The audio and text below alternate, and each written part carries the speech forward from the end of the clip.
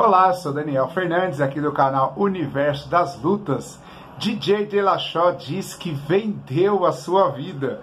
Se você gosta desse tipo de vídeo, já se inscreva aqui no nosso canal, dê o seu like e não esqueça de acionar o sininho para que todas as vezes que a gente postar algum vídeo você venha receber, ok?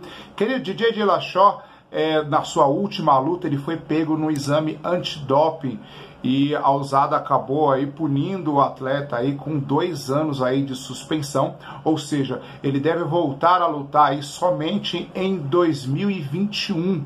E aí foi perguntado para ele porque, o que aconteceu, tudo, e ao invés dele, fa dele fazer como os outros lutadores que sempre dizem que é, é, a substância estava no suplemento alimentar, que ele foi para uma churrascaria e estava contaminado, ou, que, ou fazer como Anderson Silva, é, foi o Viagra, é, é, entre outras coisas, é, colocando a culpa em todo mundo, em tudo, em todos, ele fez diferente, ele assumiu a culpa, é isso aí.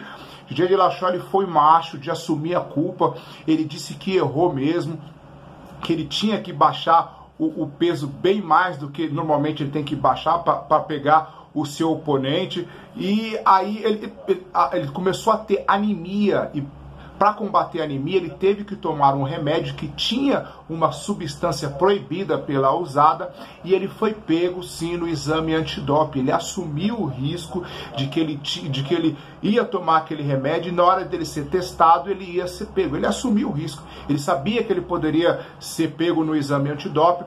Foi uma substância a qual ele teve que aplicar no seu corpo e aí foi pego e pegou essa suspensão aí de dois anos. Então, e aí ele comentando aí, dando entrevista, ele fala que vendeu a vida dele pro diabo para que ele pudesse bater o peso dele e pegar o seu oponente aí tentando aí um segundo título aí é, na categoria de baixo. Então, é, meus parabéns aí pro DJ Delachó, que foi macho, que foi homem, de ter assumido aí a responsabilidade aí, não ficou inventando coisas aí para que ele para que ele pudesse aí se safar da sua responsabilidade. E que fique aí o alerta para outros atletas aí que muitas das vezes querem bater o peso, fazer um, algo é, é, que, que é insuportável, que ele não aguenta.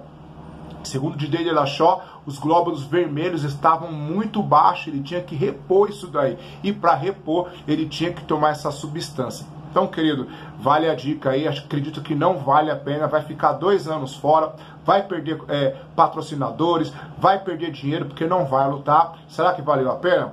Acredito que não, né? Então, esse foi o vídeo de hoje. Espero que você tenha gostado. Um grande abraço e fique com Deus.